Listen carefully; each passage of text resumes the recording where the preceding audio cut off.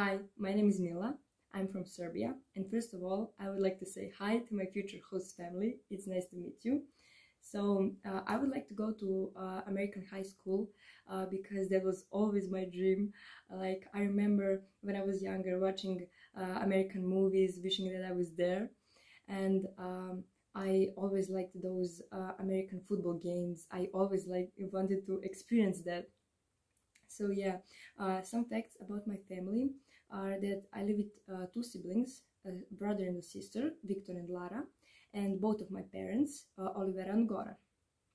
Um, I uh, go to high school, I'm friendly, I would like to meet some new people, have friends, uh, have fun with my host family, like uh, learn something about American culture, and um, also show our culture uh, also on my exchange year I would uh, like to um, improve my English because I really like it. Um, I also went to um, to a music school for six years. I graduated and uh, I played piano. Um, so yeah, that I think that's all. So uh, thanks for uh, watching this video.